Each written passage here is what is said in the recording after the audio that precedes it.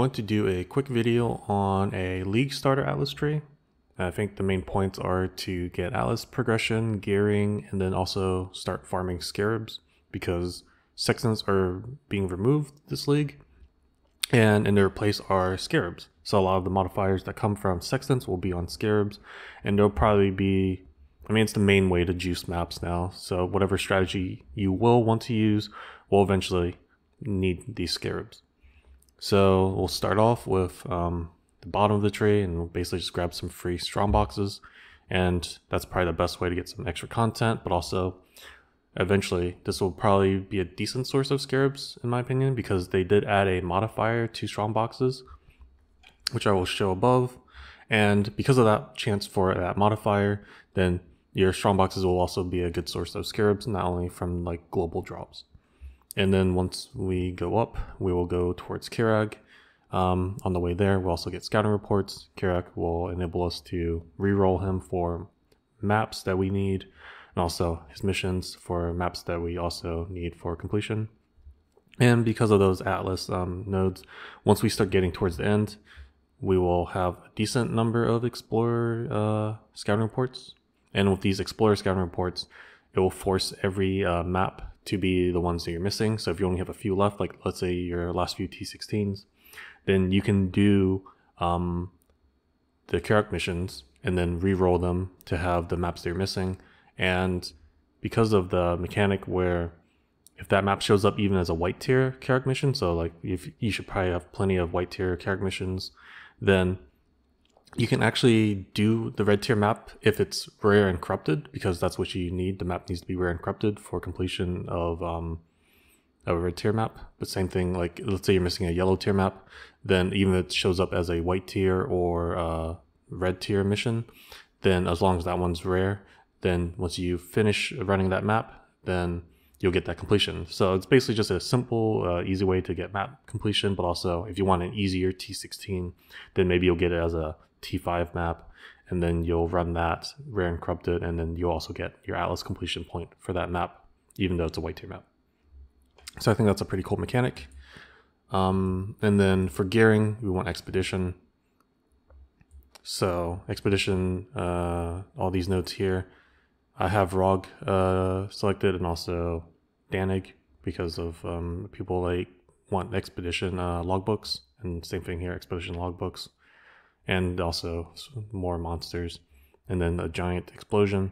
So just a way to craft your own gear. But if you don't want to craft your own gear, you want currency, then Tujen is a decent way of getting early currency. So that's you know points you put in there instead. Um, and then at the top here, I guess we should go over the scarab nodes real quick. So just chance for more scarabs from maps. Um, these will specify what scarabs, or yeah, what increased chance of scarabs you want. I just picked one random from each. You probably don't want to pick them all. Maybe you just want to pick a couple that you want. I just picked the ones that I thought were good, for me at least. So more strong boxes for ambush. Reliquary for more uniques. Uh, they haven't revealed them all yet, I believe. So just getting that there for those three, and then essences, scarabs for much later. These will be useful later, um, but not early on because of like how the they did change some of these nodes to be uh, not as good as they used to be, and maybe even scarier if you're in hardcore. So just random scarabs. So look over the ones that maybe you would want instead. These are just the ones I put here for me uh, early on. And then you want more rare, uh, less common variety, uh, less common varieties of scarabs, and the boss has a chance to drop scarabs, and then rare monsters have a chance to drop scarabs as well. And these up here are random uh, map ones. So if you want better chance to get, uh, once you start doing like T14 plus maps, if you want Conqueror bosses, or yeah, Conqueror uh, Guardians, uh, and then Elder or Shaper Guardian, and then synthesis uh, map bosses. I believe you need to do these map bosses now to get the Cortex map. They won't just be like a random drop from like a normal T14 or T16 map. So I think these will be, at least this is the strategy I will be using uh, early on. And oh, I guess I did miss something. Um, so strong boxes, there's nothing new here. Uh, extra strong box, rare corrupted. I think it's not as bad as it used to be. I would never get the duplicate map one. I'm still not doing it, but it won't be as bad because they did change um, how corrupted maps work. They can no longer be unidentified, and they might give you like special quant modifiers instead.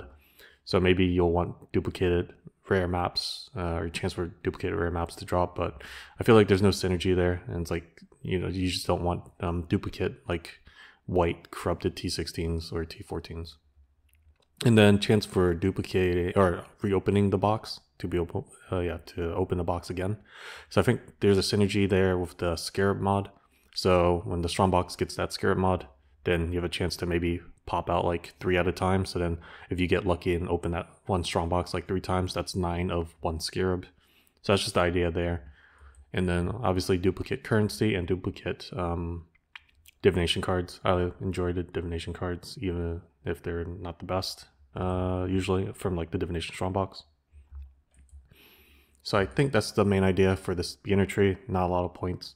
So it has uh, plenty of room to be modified further. Um, I will have a um, more, uh, I guess, late game uh, tree, but this is just uh, for Atlas completion mainly and early gearing and then getting extra scarabs. Uh, links will be in the description and we will move on to a more late game tree. So the idea for this tree is to get scarabs, farm abyss. And I think that's basically the idea here. I think minion builds will be pretty popular this league. So mm, that's the main idea of why I would want to farm abyss, um, at least on the map. If you were to go for abyssal depths, you can because there is the some of the abyss there might be useful. But the main idea is to get the corrupted five or six random mod ones because those can't be made naturally. So those might be pretty high value because if you get like five or six good mods on it, then you know enough people would want those because they just aren't naturally makeable or rollable, and they can add way more damage or utility than people uh, than normal.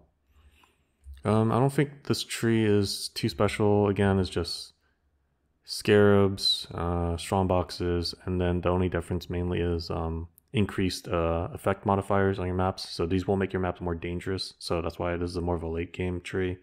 Know, I guess also you should have Eater influence unlocked. You don't necessarily have to go for Eater if it's not for you. Um, you can spec out of it and then use the gates to spec into uh, what's it called?